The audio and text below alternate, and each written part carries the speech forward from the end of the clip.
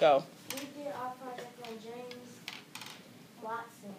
Um, James Watson was an American genetics and bi- uh, biochemist, physicist note, noted in the discovery of the mo- molecular structure of DNA.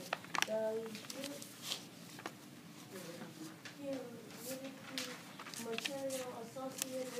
transmission. His place of birth, was Chicago, Illinois, April 6, 1928. His age is 85. Over the course, course of his long career, James Watson his, has been honored now numerous times talking, taking home the John Collins